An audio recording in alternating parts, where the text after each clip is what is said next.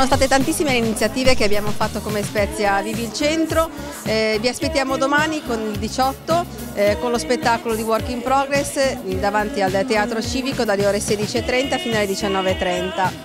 Insomma, quando arrivate, vedete, tutti si abbracciavano. Naturalmente ci saranno nuovamente le letture delle fiabe con Susanna Varese in eh, Corso Cavour, Alessandra Cerretti qui in via del Prione, quindi aspettiamo tantissimi bambini, c'è anche Babbo Natale, vero? Babbo Natale. E anche Babbo Natale, quindi vi aspettiamo tantissimi.